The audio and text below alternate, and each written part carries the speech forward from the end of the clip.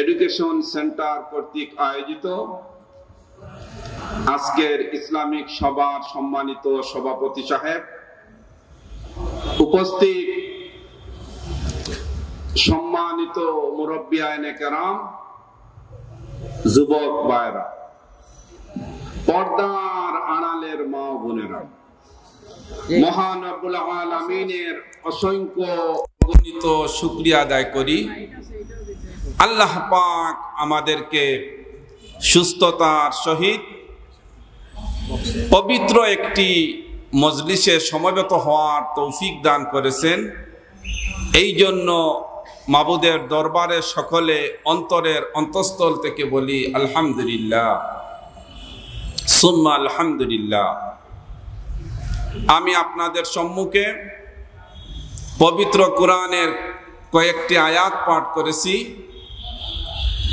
আল্লাহ পাক যদি আমাকে তৌফিক দান করেন, সেই অনুযায়ী কিছু আলোচনা করব ইনশাল্লাহুল আজিজ। আল্লাহ পাককে শুক্রিয়া আদায় করে শেষ করা যাবে না যে আল্লাহ পাক আমাদেরকে মানব রূপে সৃষ্টি করেছেন।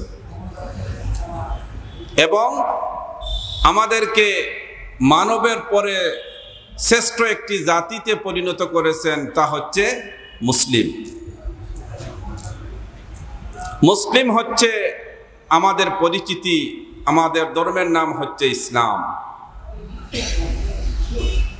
আমাদের এই ইসলামের যে মেসেঞ্জার, তিনি হচ্ছেন প্রফেট মোহাম্মদ সাল্লাহ আলাইহি ওসাল্লাম এইগুলাও অনেক সময় দেখা যায় অনেকে যদি জিজ্ঞাসা করা হয়, নবীর নাম কি?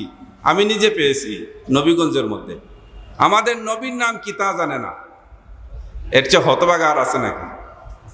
আমাদের পরিচিতি হচ্ছে মুসলিম, আমাদের ধর্মের নাম হচ্ছে ইসলাম, আমাদের নবী হচ্ছেন মোহাম্মদুর রসুল্লাহ সাল্লাহ আলহিয়াসাল্লাম যখনই আমরা নিজেদেরকে মুসলিম হিসাবে পরিচয় প্রদান করব, তখন আমরা আমাদের মনের ইচ্ছা বিপরীতে চলাফেরা করতে হবে। আমরা যখন মমিন হিসাবে দাবি করব, তখন আমরা এই পৃথিবীতে একজন জেলখানার মতো, কয়েদির মতো বসবাস করতে হবে। নিয়ম শৃঙ্খলার ভিত্তিতে আমাদেরকে চলাফেরা করতে হবে। যেভাবে একজন জেলখানায় একজন লোক জেল সুপারের আইন অনুযায়ী, নিয়ম অনুযায়ী চলাফেরা করা লাগে, একজন মমিন ঠিক তদ্রূপভাবে নিজের মন মানসিকতা অনুযায়ী জীবন পরিচালনা করতে পারে না। এই জন্য তার নাম হচ্ছে মুসলিম। আর দুনিয়া ও সিজনুল মিনিন ও জান্নাতুল কাফিরিন। বিশ্বনবী বললেন, এই দুনিয়াটা, এই পৃথিবীটা হচ্ছে মুমিনের জন্য কারখানা। এর মানা, জেলখানায় কারখা, কারাগার, মুমিনের জন্য কারাগার। কারাগারে যেভাবে একজন মুমিন, একজন মানুষ ব্যক্তি স্বাধীনতা বলতে কিছুই থাকে না। নিয়ম নীতির ভিতরে চলতে হয়। আমরা যদি মুসলিম দাবি করি, মুমিন দাবি করি, তাহলে আমাদেরকে একটি সংবিধান অনুযায়ী জীবন পরিচালনা করতে হবে। সেটা হচ্ছে মোহাম্মদ সাল্লি সাল্লামের আনিত ধর্ম ইসলাম।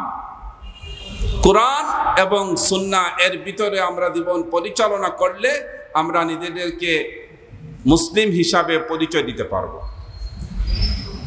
এটা আল্লাহ পাকে শুক্রিয়া, আল্লাহ পাক যে আমাদেরকে চাইলে একটা নাসারার ঘরের মধ্যে জন্ম দিতে পারতেন।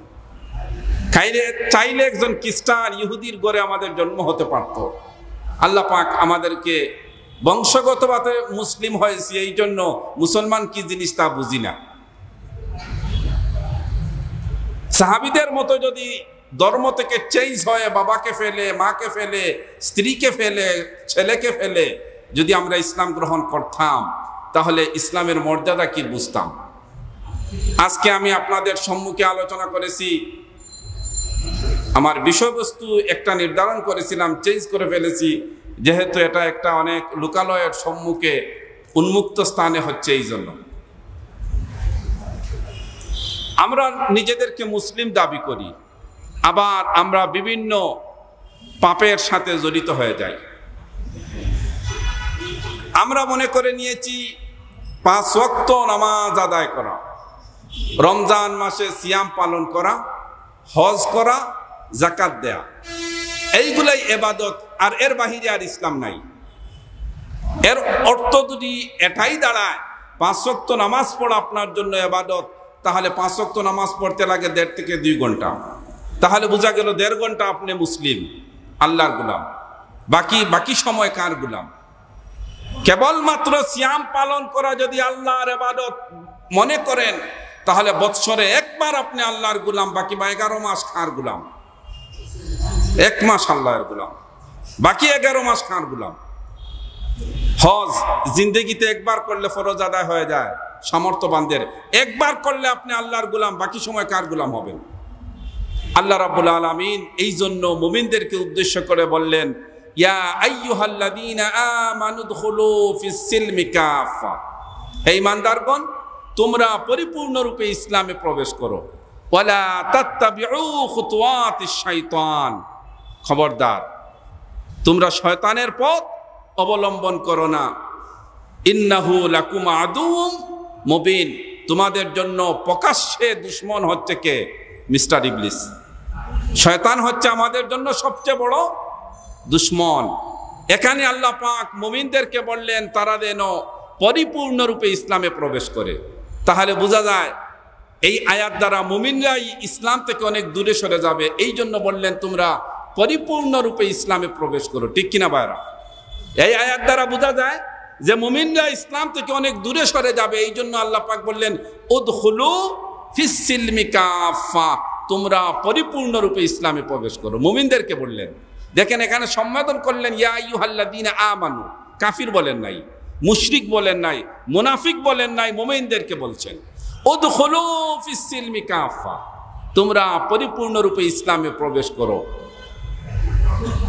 এখন আমাদের সমাজের দিকে যদি তাকান, আমরা ওই আল্লাহর করণীয় কিছু আনুষ্ঠানিক এবাদতকে আমল হিসাবে, দিন হিসাবে গ্রহণ করে নিয়েছি।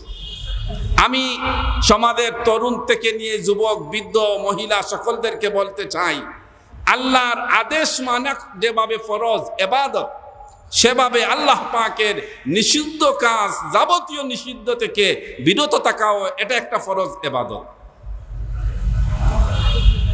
খালি আদেশ সূচকগুলা মানলাম আর নিষেধগুলা মানলাম না। তাইলে আল্লাহর বান্দা হতে পারব? পরিপূর্ণ মুসলিম হতে পারব? ওয়ালা তাত্তাবিউ শাইতান। ইসলামে পরিপূর্ণ রূপে প্রবেশ করো আর শয়তানের পথ তোমরা অবলম্বন করো না। অত্র আয়াত থেকে আমরা বুঝতে পারলাম পরিপূর্ণভাবে মুসলিমদেরকে প্রবেশ করার অর্থ বোঝা যাচ্ছে মুসলিমরা ইসলাম থেকে, মুমিনরা ইসলাম থেকে অনেক দূরে সরে যাবে। এই আয়াতটা নাজিল হয় কাদের উপর? এই আমাদের মুসলিমদের উপর। যেই যুগে নাজিল হয়েছিল এই যুগে আমাদের দেশে ইসলামকে যেভাবে বিকৃত করা হচ্ছে, ইসলামকে যেভাবে মূল্যায়ন করা হচ্ছে না, ওই যুগে এইভাবে ছিল না পরিবেশ, পরিস্থিতি। রসুল আসার আগে এই যুগ, ওই যুগকে অশ্লীলতা দিক দিয়ে, নির্লজ্জতার দিক দিয়ে হার মেনেছে বর্তমান যুগ। ওটি ওই জাহিলি যুগের চেয়ে ভয়ানক একটা যুগে আমরা বসবাস করছি। এই জন্য আমি আপনাদের সম্মুখে একটি আয়াত পাঠ করেছি। আমরা মুসলিম দাবি করি সুদ খাই, আছে না নাই বাইরা আমরা মুসলিম দাবি করি পাঁচ ওয়াক্ত নামাজ পড়ি, তারপরে আমরা ঘুষ খাই, আছে না নাই? আমরা মুসলিম দাবি করি, তারপরে আমরা জুয়া খেলাই, আছে না নাই মুসলমানদের মধ্যে? আমরা মুসলিম দাবি করি, জিনা করি। আমরা মুসলিম দাবি করি ইহুদিন আসারাদের গান, বাজনা, নৃত্য, সংগীত নিয়ে আমরা ব্যস্ত হয়ে আছি। আমাদের যুবক সমাজদের জিনার এবং জিনার আগে যে সমস্ত অনুষ্ঠান আয়োজন করা হয়, এই সমস্ত সাথে এমনভাবে জড়িত হয়ে গেছে, মনে হচ্ছে তাদের কাছে এই সব হালাল হয়ে গেছে। অথচ একজন মুসলমান কখনো বাদ্যযন্ত্র তাকে আপন করে নিতে পারে না। একজন মুসলমান কখনো সুদ গোস জুয়া, জিনা ব্যপিচারের সাথে সম্পৃক্ত হতে পারে না। যদি সে মুসলিম হিসাবে নিজেকে প্রমাণ করে। মুসলিম শব্দের অর্থ হচ্ছে আল্লাহ এবং রসুলের কাছে রসুলের আনিত প্রদানকৃত বিধানের নিকট আত্মসমর্পণকারী।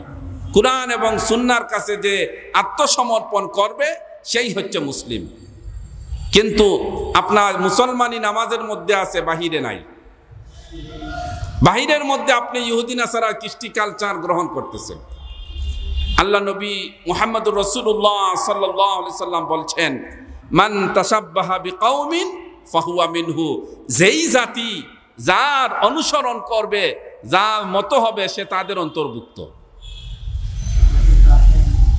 একজন মুসলমানের প্রতিটা কাজ এবাদত হবে গোমে যাওয়া, টয়লেটে যাওয়া, স্ত্রীর কাছে যাওয়া, বিছানায় যাওয়া, ব্যবসা করা, বিদ্যালয়ে যাওয়া, শিক্ষাঙ্গনে যাওয়া, চাকরি করা, সব এবাদত।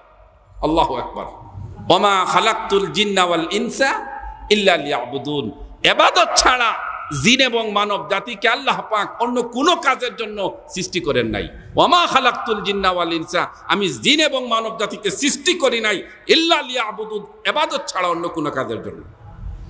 এই আয়াত দ্বারা বোঝা যায় আমাদেরকে সৃষ্টি করাই হয়েছে এবাদতের জন্য।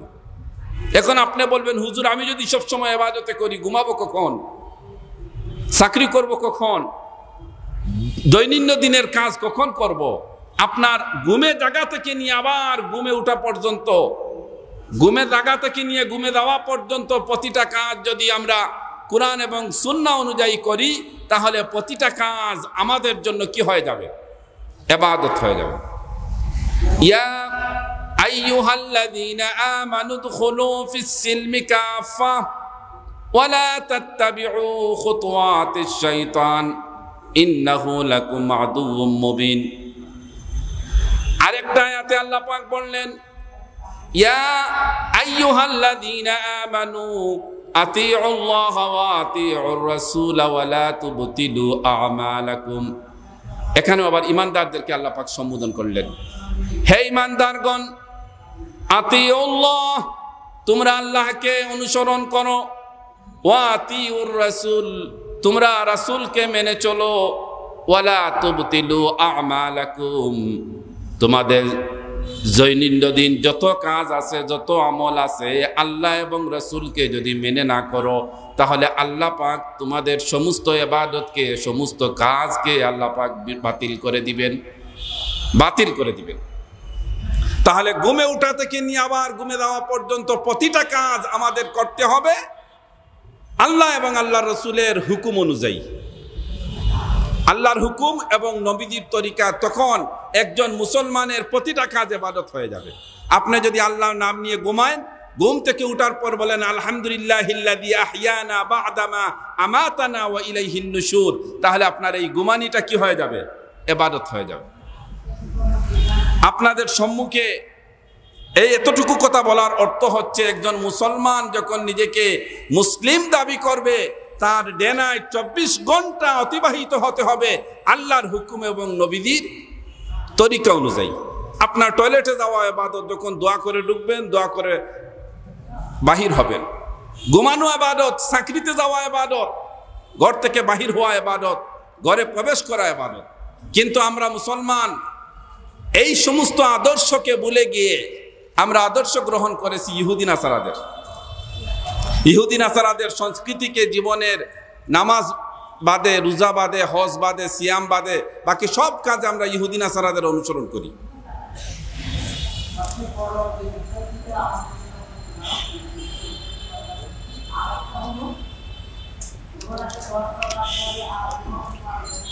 আমি আপনাদের সম্মুখে একটি আয়াত পাঠ করেছিলাম। আল্লাহ রাব্বুল আলামিন বললেন ومن الناس من يشتري لهو الحديث ليضل عن سبيل الله এক শ্রেণীর লোক আছে যারা মানুষকে আল্লাহের পথ থেকে ভ্রান্ত করার উদ্দেশ্যে عن سبيل الله بغير علم ويتخذها هزوا গান বাজনা বাদ্য যন্ত্র সংগ্রহ করে তা নিয়ে আনন্দ ফুর্তি করে। মুহিন। ওই সমস্ত মানুষদের জন্য রয়েছে অবমাননাকর শাস্তি। অত্র আয়াতে আমরা বুঝতে পারলাম, মানুষদের মধ্যে থেকে এক শ্রেণির মানুষ হবে আল্লাহ পাক বলছেন হাদিস। মানুষদের মধ্যে থেকে এক শ্রেণির মানুষ থাকবে, যারা কি করবে? বাদ্যযন্ত্র সংগ্রহ করবে, তা নিয়ে আনন্দ ফুর্তির অনুষ্ঠান করবে। কেন? আল্লাহর পথ থেকে মানুষদেরকে সরিয়ে নেওয়ার জন্য।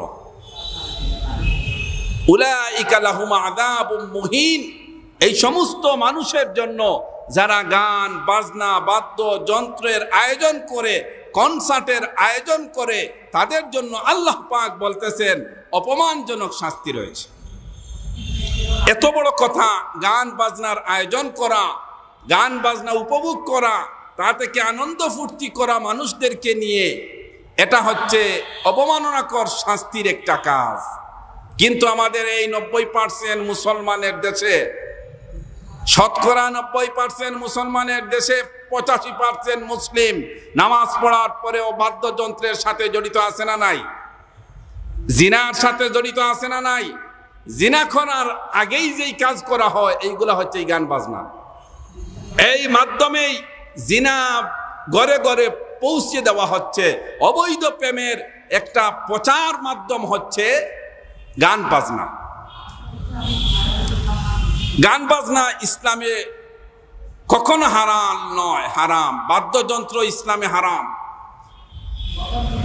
আর এই যুগের মুসলমানরা এটাকে হালাল করে নেবে এটা মোহাম্মদুর রসুল্লাহ সাল্লাহ আলাইসাল্লাম আজ থেকে প্রায় চোদ্দশো বছর আগে আলোচনা করেছে عن ابي مالك الاشعري رضي الله تعالى عنه قال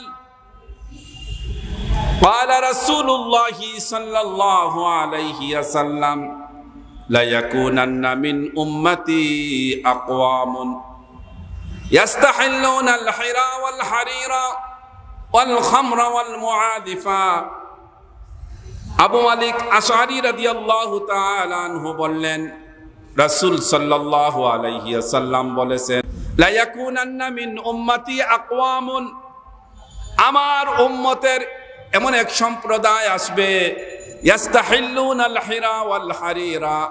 তারা জিনা এবং রেশমি কাপড়কে তাদের জন্য হালাল করে নেবে। জুয়া এবং বাদ্যযন্ত্রকে এমন এক সম্প্রদায় আমার উম্মতের মধ্যে আসবে, যারা জিনাকে যেভাবে হালাল করে নেবে, রেশমি কাপড়কে ওইভাবে তাদের জন্য হালাল করে নেবে। একথা বলে তামেন নাই বিশ্বনবী বললেন মিন আকওয়ামুন আল কুবাতা জুয়াকে তারা ওইভাবে জিনার মতো হালাল করে নেবে। এবং তারা বাদ্যযন্ত্রকে তাদের জন্য হালাল করে নেবে। সম্মানিত উপস্থিতি, আমার মাইকের আওয়াজ যতদূর যাচ্ছে, পর্দার আড়ালের মা বোনেরা একটা সাক্ষী দিবেন। আমাদের যুবক, যুবতী, এমনকি কিছু বৃদ্ধ লোক আছেন জেনারেল, শিক্ষিত। তারা এমনভাবে টিভি টিভি, ফেসবুক, ইউটিউবে গান চর্চা করেন, গান শোনেন। তাদেরকে তারা কি ওই দলের অন্তর্ভুক্ত হয়ে গেল না? নবীজি বললেন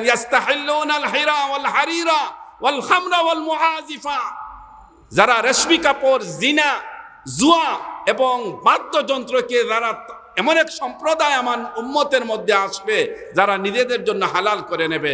আমি মনে হয়, আমার মনে হয় এই সম্প্রদায় বর্তমান সমাজে উপস্থিত, ঠিক কিনা না? এটা যে হালাল করে নিবেন যুবতী বোন, যুবতী ভাই, আজ থেকে চোদ্দশো বছর আগে বিশ্বনবী মোহাম্মদুর রসুল্লাহ সাল্লাহ সাল্লাম তোমার বিষয়ে ভবিষ্যৎবাণী করে গিয়েছে। আল্লাহ রসুল সাল্লাহ আলাইসাল্লাম বলছিলেন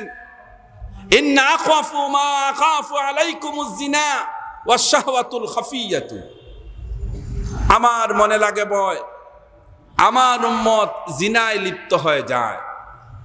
আমার মনে লাগে বয় আমার উম্মত গোপন পাপে লিপ্ত হয়ে যায়। গোপন পাপের সবচেয়ে বড় মাধ্যম হচ্ছে এই মোবাইল ট্যাব, টিভি, টেলিভিশন। যুবক, যুবতীর হাতে মুসলিম সমাজে যেভাবে মোবাইলকে তুলে দেওয়া হয়েছে তাদেরকে মানুষের চেয়েও পশুর চরিত্রে পরিণত করা হচ্ছে। হে যুবক, ভাই ও বোনেরা, রাস্তাঘাটে যারা চলাফেরা করতেছেন, আপনারা আমাদের মুসলিম বোন, মুসলিম ভাই। কু আনফুসাকুম ওয়া আহলিকুম নারা। আল্লাহ পাক বললেন, তুমি নিজে জাহান্নাম থেকে বাঁচো আর তোমার পরিবার, পরিজন, পরিবেশের লোকদেরকে জাহান্নাম থেকে বাঁচাও। এই গান বাজনা কোনো মুসলমানের জন্য হালাল হতে পারে না বিশ্বনবী মোহাম্মদুর রসুল্লাহ সাল্লাহ সাল্লাম বলছেন আনিবনে আব্বাস রাদিয়াল্লাহু তাআলা আনহু قال قال رسول الله صلى الله عليه وسلم ان الله تعالى حرم الخمر والميسر والكوبة নিশ্চয়ই আল্লাহ তাআলা হারাম করেছেন ইন্ন আল্লাহ তাআলা নিশ্চয়ই আল্লাহ পাক হারাম করেছেন হারামাল খামরা, নেশাদার দ্রব্য পান করা আল্লাহ পাক হারাম করেছেন, বিশ্বনবী বলতেছেন। ওয়াল মাইসিরা, জোয়া খেলা আল্লাহ পাক হারাম করেছেন। ওয়াল কুবাতা, বাদ্যযন্ত্র, গায়ক, গায়িকা, নায়ক, নায়িকা যত যতরের গানের মাধ্যম আছে, সব এই হাদিসের মাধ্যমে বিশ্বনবী তার উম্মতের কাছে পৌঁছিয়ে দিলেন, এইগুলা প্রতিটা মুসলমানের জন্য হারা হারাম। প্রতিটা মুসলমানের জন্য হারাম হচ্ছে গান, বাজনা, জুয়া এবং নেশাদার দ্রব্য পান করা। অথচ আমরা মুসলিম সমাজের ছেলে, ইয়াবা পান করে কিনা না? ফেন্সিডিল পান করে কিনা না? গাজা পান করে কিনা না?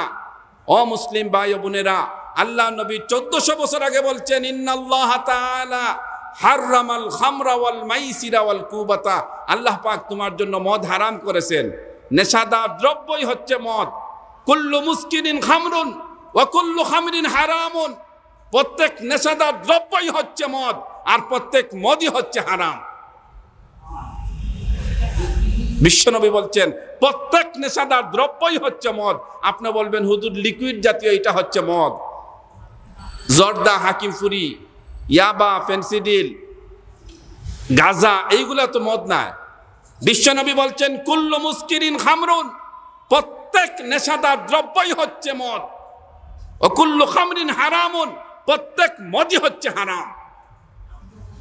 শুধু তাই নয়, নেশাদার দ্রব্য হারাম। কত বড় পাপ, আমি আপনাকে কি করে বুঝাই? আল্লাহ রসুল সাল্লাম বললেন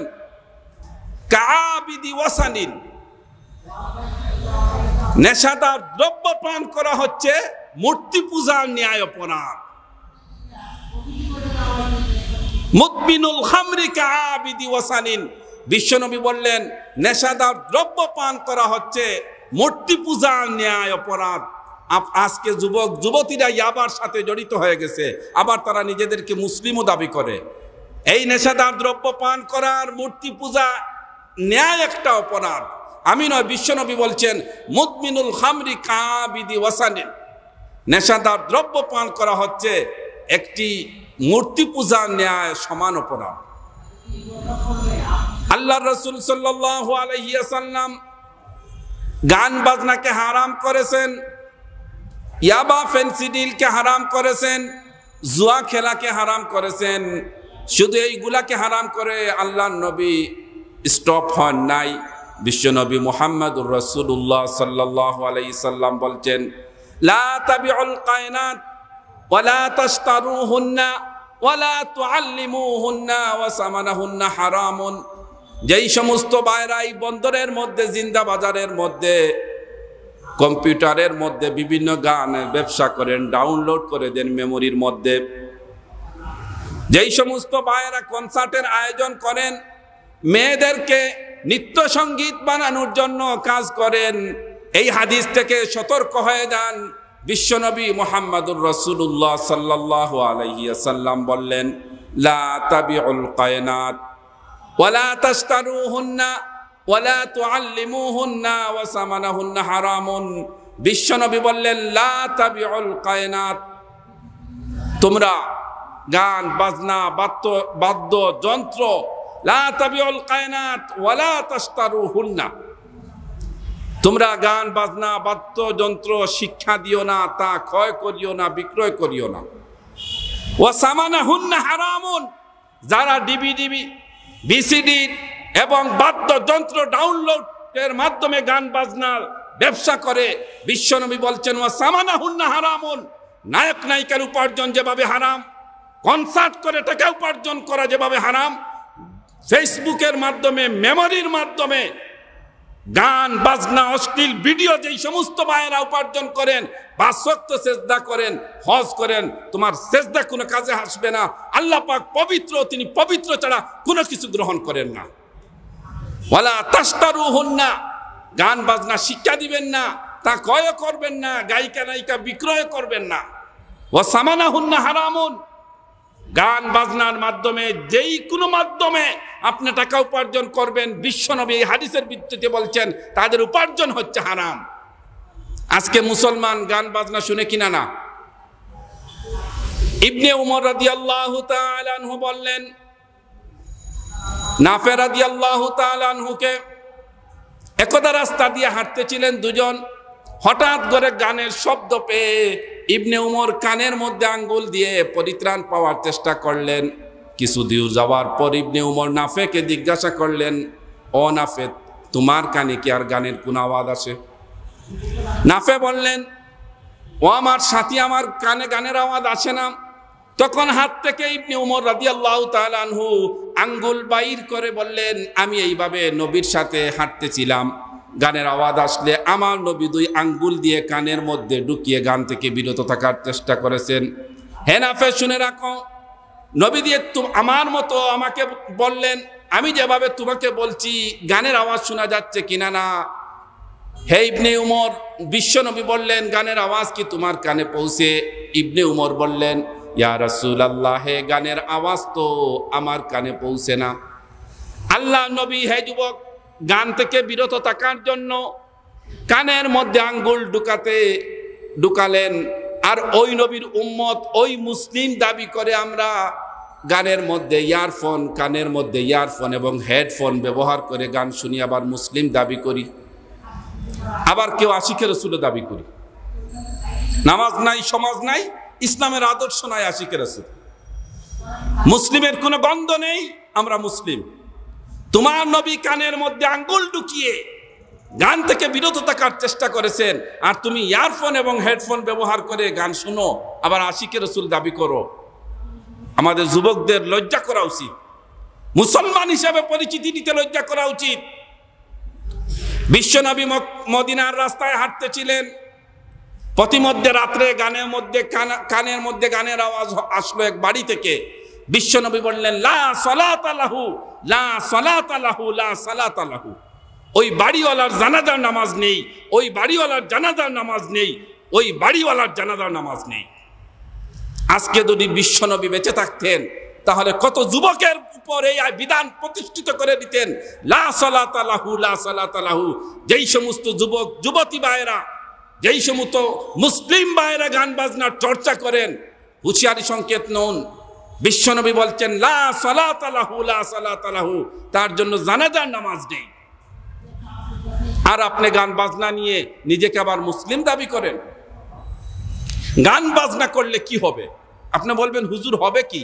কাল কেমতের দিন আপনার কানের মধ্যে উত্তপ্ত সীসা দুটি লোহার শিখ গরম করে কানের মধ্যে প্রবেশ করানো হবে এবং বাহির করা হবে।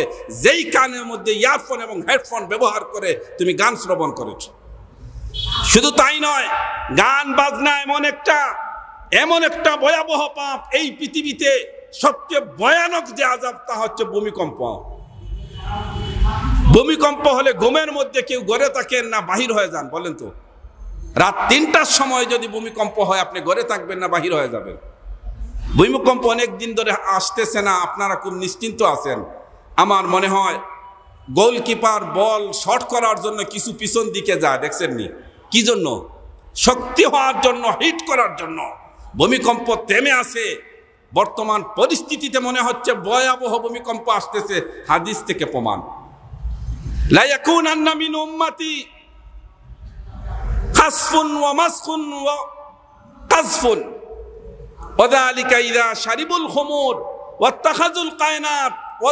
বিল বিশ্বনবী বললেন, আমার এক উম্মত যখন গান বাজনায় মত্ত হয়ে যাবে, গায়িকা নায়িকা নিয়ে ব্যস্ত হয়ে যাবে দুই নম্বর পা তিন নম্বর পাপ, নেশাদার দ্রব্য নিয়ে আমার উম্মত যখন ব্যস্ত হয়ে যাবে, আল্লাহ পাক তার উপর তিনটা গজব প্রদান করবেন।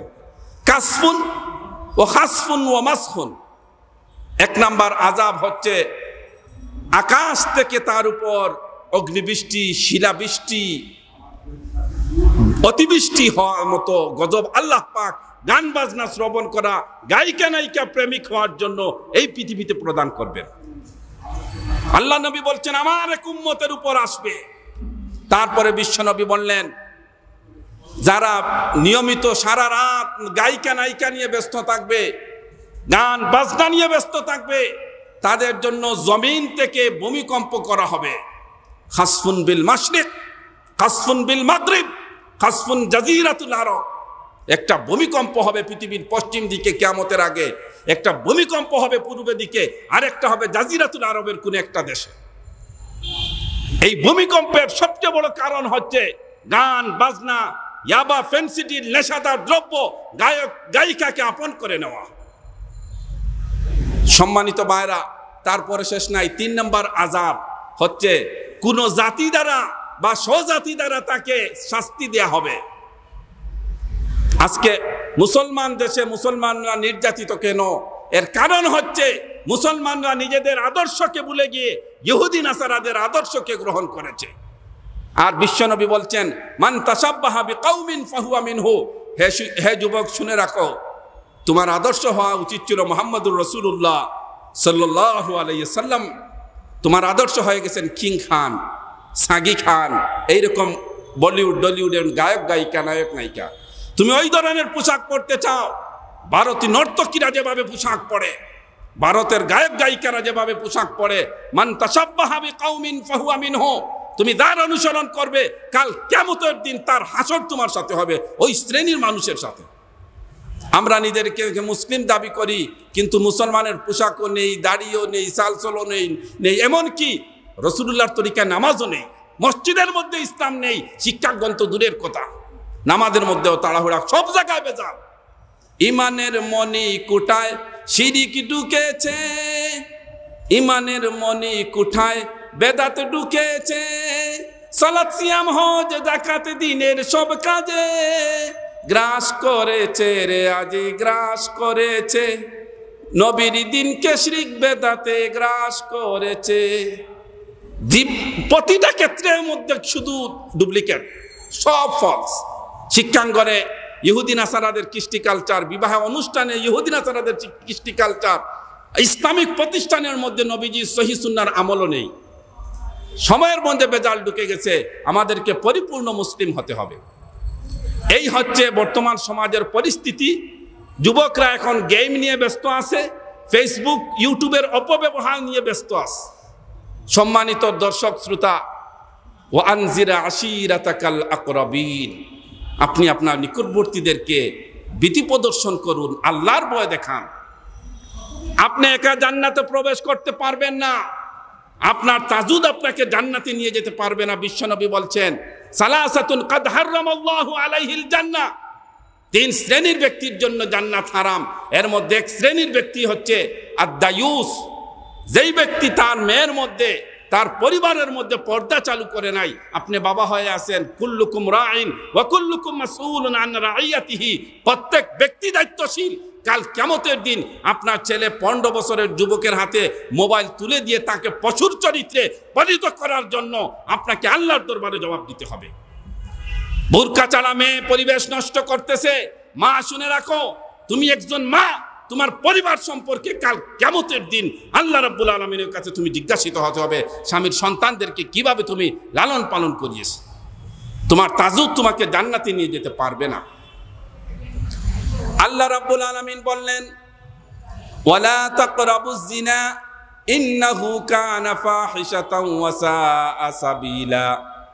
আল্লাহ পাক বললেন, তোমরা জিনা নিকটবর্তী হইও না। আজকে আমরা গান বাজনার মাধ্যমে জিনার চর্চা করা হচ্ছে। জিনা চর্চার সবচেয়ে বড় মাধ্যম হচ্ছে অশ্লীল সিনেমা প্রদর্শন, গান বাজনা প্রদর্শন করা। অথচ এই জিনা করা তো দূরের কথা। জিনার প্রথম স্টেপই হচ্ছে গান বাজনা। অবৈধ প্রেম উদ্বুদ্ধ হচ্ছে ছেলেমেয়েরা ছায়াছবি পরিচালনার কারণে, ঠিক কিনা না? ছায়াছবি যদি পরি- পরিচালনা না হতো, মুসলমানদের আদর্শ এত নষ্ট হতো না। অবৈধ প্রেম, বাল্য প্রেম চালু হতো না সমাজে। বাল্য বিবাহ বন্ধ করা হয়েছে। বাল্য প্রেম চালু হওয়ার কারণে। বাল্য প্রেম চালু করতে গিয়ে আল্লাহ পাক পবিত্র কোরআনে বলছেন, ওয়ালা তাকরাবুজ জিনা তোমরা জিনা নিকটবর্তী হইও না। ইন্নাহু কানা ফাহিশাতাও ওয়া সাআ সাবিলা। এটা হচ্ছে নিকৃষ্টতম একটা কাজ। আজকে আমরা জিনা নিকটবর্তী হয়ে আছি। আর জিনা নিকটবর্তী হওয়ার সবচেয়ে বড় মাধ্যম হচ্ছে এই মোবাইল ফেসবুক ইউটিউবের অপব্যবহার। এই মোবাইলের মাধ্যমে অনেক যুবকের মুখে দাঁড়িয়ে এসেছে। অনেক যুবক সিরকে আকিদা পরিত্যাগ করে, ইসলামিক সহি আকিদায় পরিণত গ্রহণ করেছে। সম্মানিত উপস্থিতি, আল্লাহ রাব্বুল আলমিন পবিত্র কোরআনে বলছেন, তোমরা জিনা নিকটবর্তী হইও না। কিন্তু আজকে আমরা জিনা নিকটবর্তী হয়ে গেছি। হাতের জিনা হচ্ছে হাত দিয়ে স্পর্শ করা, সুখের জিনা হচ্ছে চোখ দিয়ে দেখা, অন্তরের জিনা হচ্ছে জিনা বিষয়ে কল্পনা করা। আর লজ্জাস্থান তার বাস্তবায়িত করে বিশ্বনবী বললেন, তুমি চোখ দিয়ে যে মহিলাকে দেখতেছো, তোমার ইসলামের দৃষ্টিতে চাচাতো বোনকে দেখা তোমার জন্য হারাম, হিন্দি নায়িকাকে তুমি কীভাবে হালাল করে নিলে? ইসলামের দৃষ্টিতে ফুফাতো বোন তোমার সম্মুখে পড়া হারাম তুমি কীভাবে বাংলা হিন্দি নায়িকাদেরকে অর্ধনগ্ন, ঊর্ধ্বনগ্ন, নগ্ন পোশাকে দেখতে চাও? এটা ইসলাম কখনো সাপোর্ট করতে পারে না। জিনা থেকে যুবকরা খুব দূরে থাকবেন। সুখের জিনা হচ্ছে সুখ দেখে দিয়ে দেখা।